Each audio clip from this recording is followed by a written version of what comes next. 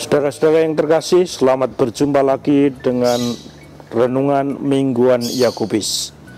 Tema renungan minggu ini ialah tentang salib, makna salib bagi hidup kita.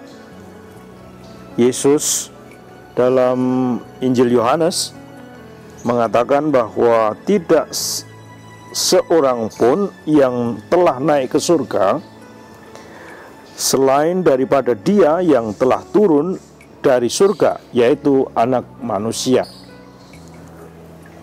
Inilah percakapan Yesus dengan Nikodemus dan Yesus masih melanjutkan percakapannya dengan Nikodemus dengan mengatakan dan sama seperti Musa meninggikan ular di padang gurun demikian juga anak manusia harus ditinggikan supaya setiap orang yang percaya kepadanya beroleh hidup yang kekal.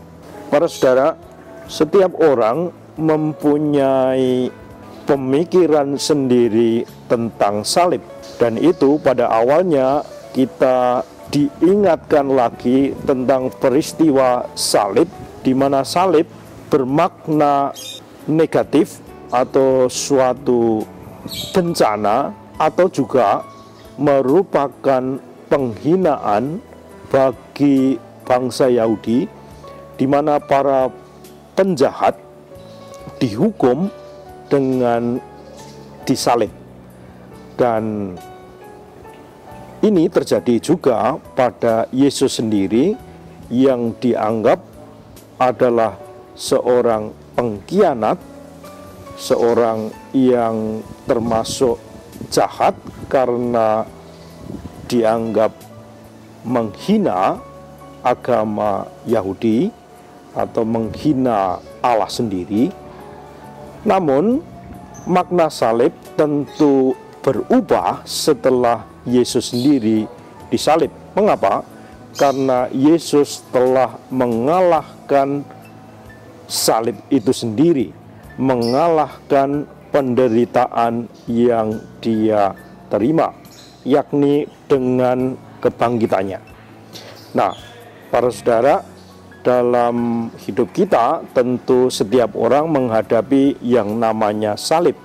Salib merupakan beban bagi hidup kita setiap hari.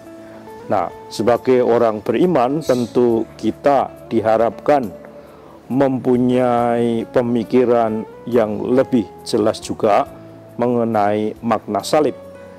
Salib bukan hal yang tentu harus dipandang secara negatif, tetapi mungkin juga dari segi iman kita bisa kita pandang sebagai suatu tantangan baru bagi hidup kita, hidup beriman sebagai suatu tanda bahwa ada tantangan baru di mana kita harus menghadapi, harus menyelesaikan masalah ini dengan kehidupan kita, terutama dengan dasar iman kita bahwa tidak ada yang mustahil bagi Tuhan di mana kita selalu mempunyai harapan yang telah dijanjikan oleh Yesus sendiri yaitu hidup kekal.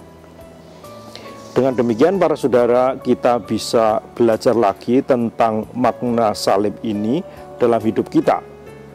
Janganlah kita berputus asa, namun kita tetap hidup dalam pengharapan karena Tuhan sendiri mengatakan Tuhan tidak akan mencobai kita umatnya melebihi kemampuan kita.